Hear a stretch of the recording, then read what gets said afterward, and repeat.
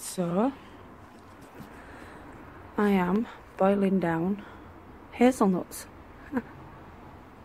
I'm assuming I've got a nice dark colour. Oh! Because I can't see the hazelnuts when I push them down. All looking good.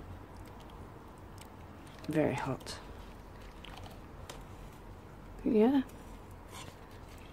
Leave them overnight, fingers crossed. I get even more out. Beautiful. So technically, hang on, so technically I should have brought you all out to see this.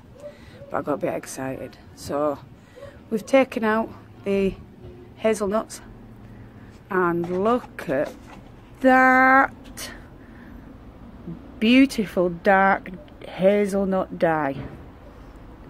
Can't wait to do something with it. I'm going to stir it up till I've spun some of my own yarn, natural, so I can dye it in a dip dye of hazelnut. Have fun guys!